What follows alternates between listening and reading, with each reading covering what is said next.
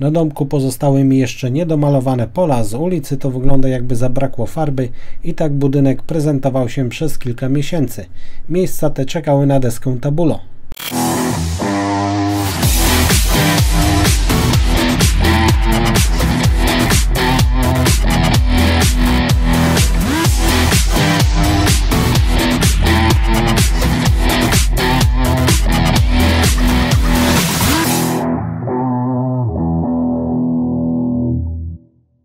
Ok, co to jest tak w ogóle ta deska tabulo?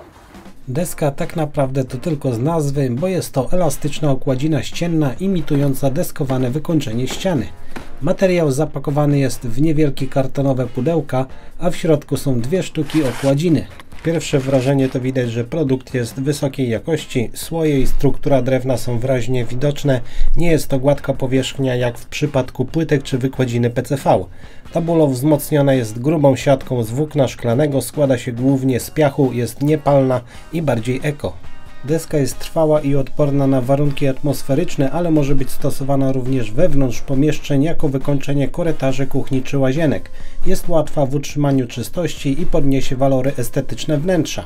Zaletą deski Tabulo w przeciwieństwie do prawdziwych desek jest też to, że nie próchnieje, nie traci powłoki zabezpieczającej i nie wymaga konserwacji. Do mocowania niezbędny jest oczywiście klej. Thermolab to gotowa do użycia dyspersyjna masa klejowa, dostępna w trzech kolorach. Tutaj mam brązowy, klej posłuży również jako fuga. Dosyć gadania, lato się skończyło, trzeba działać dopóki dopisuje pogoda. A jesienna pogoda wprost idealna. Zacznę od części frontowej. Rozłożyłem rusztowanie, będę układał od dołu, także na razie tylko kilka ramek i blaty. Muszę wyznaczyć linię pionową i poziomą. Bardzo przydatna będzie poziomica laserowa. Zaznaczyłem punkt, od którego deska się zacznie. U mnie szerokość okładziny będzie 3 metry. Ołówkiem narysowałem pionową linię. Deska ma 16 cm i nie wiedziałem do końca czy zacząć całą deską, czy dać nieco niżej równo z obróbką daszku. Zdecydowałem zacząć niżej i po przyklejeniu przyciąć deskę. Ustawiłem poziom i narysowałem linię. Zabezpieczyłem daszek, okleiłem sąsiednią elewację i przykryłem kostkę. Wrzuciłem narzędzia oraz klej na rusztowanie i działamy. Zmierzyłem na długość deski dokąd nakładać klej i grzebieniem do glazury 4 mm nakładam pionowo zaprawę. Jak pamiętacie z pierwszego odcinka elewację wcześniej umyłem mejką i biolitem i w moim przypadku na tynk mineralny nic więcej nie potrzeba. Jeśli jednak chcecie kleić na podłoża chłonne, które bardziej piją wodę, to należy wcześniej zagruntować. Narzędzia wyczyściłem, można je schować we wiaderku. Wiadro zamknąłem, ponieważ z wierzchu klej na powietrzu szybko przysycha. Z tego też powodu od razu biorę pierwszą sztukę i przyklejam. Zaleca się klejenie po jednej desce, no chyba że krótsze odcinki albo jest nas więcej. Generalnie na odsłoniętym kleju robi się po kilku minutach tak zwany kożuch, który osłabia klejenie. Ok, przyłożyłem deskę i kawałek po kawałku ją dociskam. Klej dobrze łapie, tabulo jest lekkie, także bez obaw, że okładzina się zsunie. Nadmiar świeżego kleju zbieram kielnią i wrzucam do wiaderka. Jeżeli zdąży wyschnąć, to należy wyrzucić. Następnie wałkiem do tapet docisnąłem i rozprowadziłem klej pod deską. Chodzi o to, żeby nie było pęcherzy powietrza i deska całą powierzchnią przylegała do ściany. Na koniec długą łatą z poziomicą sprawdziłem, czy górna krawędź jest w linii i w poziomie. Odmierzyłem z boku ten mały kawałek, zostawiając 3 mm na fugę i nożykiem z pomocą kątownika przyciąłem. W miejscach, gdzie ciężko dojść grzebienie, można nanieść klej szpachelką i posmarować okładzinę. Przykleiłem gąbką zmywakową, wyrobiłem fugę i wszystko byłoby pięknie, ładnie, ale tak popatrzyłem i wolałbym zacząć całą deską bez docinania. Dlatego zdjąłem to i przykleiłem te 2 cm wyżej. Zatem mała zmiana. Dociąłem taką elkę, zabezpieczyłem taśmą malarską tynk, naniosłem klej i przykleiłem. Tutaj też się zastanawiałem, czy nie zakryć deską obróbki daszku, ale już dla mnie nie robi to żadnej różnicy.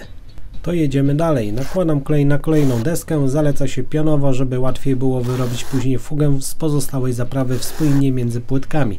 Nakładając staramy się nie zabrudzić rzędu poniżej. Bardzo istotna jest też grubość kleju, aby termolep uzyskał swoją wytrzymałość, musi odparować wodę. Im więcej nałożymy kleju, tym dłużej będzie on dosychał. Dlatego używamy zęba maksymalnie 4 mm i chronimy elewację przed słońcem. Klej pod deską Tabulo schnie około 5 dni. Wyczyściłem i zamknąłem narzędzia oraz klej i tym razem startuję całą deską od lewej strony. Chodzi o to, żeby było przesunięcie między deskami. W sumie można kłaść jak panele, co odetniemy, tym zaczynamy z drugiej strony, ale to już kwestia gustu, wyobraźni i zaplanowania wcześniej jak ma wyglądać elewacja. Ściągnąłem nadmiar kleju, docisnąłem wałkiem, spróbowałem ustawić spoinę krzyżakami do płytek, ale raz, że wypadały, po drugie deska jest elastyczna, to tym krzyżykiem przecież nie wyreguluje całej powierzchni. Dlatego lepiej to zrobić na oko i nie ma z tym żadnego problemu. Na górę przyłożyłem łatę i wyrównałem całą deskę. I od razu jak to było również z klinkiero fugujemy tym samym klejem. Można szmatką uformować fugę, a tam gdzie jest mało kleju należy dołożyć. Mi najwygodniej jest po prostu palcem. Choć są minusy, raz że palec się mocno brudzi, to w dodatku niszczą się linie papilarne i może być później problem z odblokowaniem smartfona. Pobrudziłem nieco brzegi zaprawą, małą gąbką myję, Powierzchnia nie jest chropowata jak w klinkiero i tutaj mycie nie przysparza problemów, ale trzeba to zrobić od razu, bo zaprawa wchodzi w szczeliny deski. Zmierzyłem i dociąłem kolejną sztukę, nałożyłem klej i przykleiłem.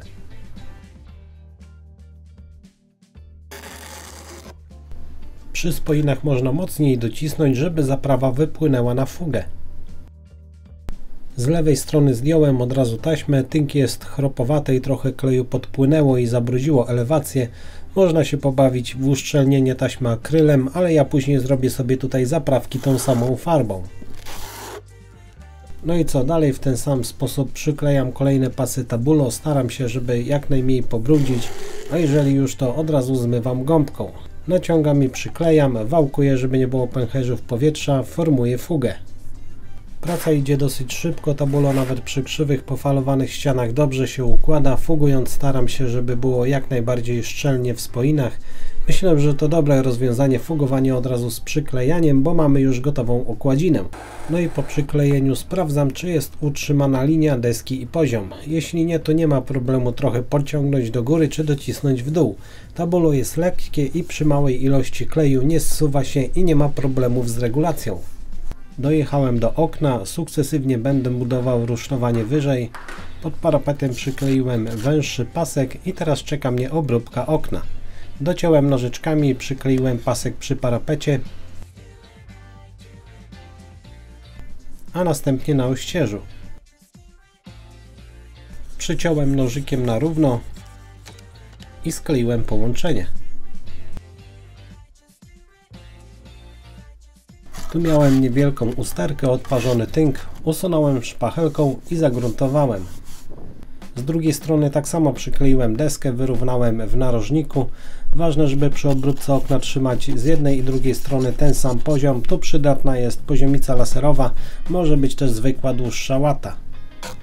Wyrównałem klejem ten ubytek po zerwanym tynku i po wyschnięciu jadę dalej. Po lewej stronie trzymałem się cały czas pionu, oklejałem tynk taśmą. Sprawdzam na bieżąco, czy boki są na tym samym poziomie, żeby fugi zgrały się nad oknem i nie było przesunięcia. I w ten sposób powolutku dotarłem nad okno, przykleiłem deski tabulo ponad roletę. Po przyłożeniu łaty i poziomicy jest ok i ładnie się zgrało. Zatem przyklejam dalej.